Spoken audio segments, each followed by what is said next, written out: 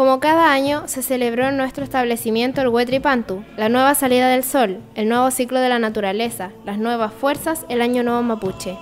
Esta celebración busca compartir y juntar a nuestra comunidad al lado de un brasero, para que compartan una buena conversación tomando mate, con comidas típicas, ricos brebajes y el deleite de nuestra cultura ancestral en diferentes medios y obras.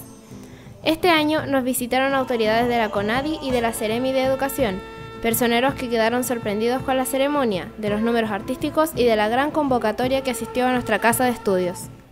Con esta energía que nos dan, con este Nehue, con este Kume Nehue, con este buen vivir, eh, en cierta medida me obligan a más, tratar de conseguir que podamos ir generando nuevas iniciativas, podamos ir generando cultura, que es lo que hacen ustedes. Entonces, agradecer, expresar siempre esta alegría eh, el señor alcalde habló del buen vivir. Para nosotros el Puma Felén es estar en armonía con la naturaleza, es estar en armonía con la familia y hoy día estamos consiguiendo eso, esta armonía que realmente llena el corazón en Piuque. En cuanto al rescate y a la cultura, se llevaron a cabo varias representaciones artísticas, comenzando con una rogativa que realizaron los alumnos.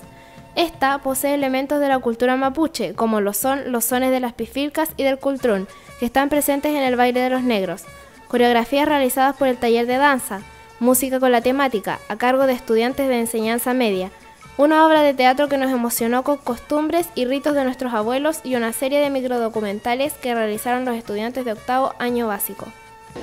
Gratamente impresionado por la gran cantidad de gente que se interesa por mantener vivas las tradiciones culturales del pueblo mapuche. Eh, no había tenido la oportunidad de ver un, un, público tan masivo en una actividad de este tipo. A los alumnos, cultivando nuestras raíces, nuestra historia, le damos vida e identidad a nuestra comuna. En resumen, una bonita y cálida celebración del Año Nuevo Mapuche se llevó a cabo en nuestro liceo. Esta nueva salida del sol nos recargará de energías, preparará un nuevo ciclo para nuestra naturaleza y nos alista para el tiempo de las lluvias que bañarán nuestros campos.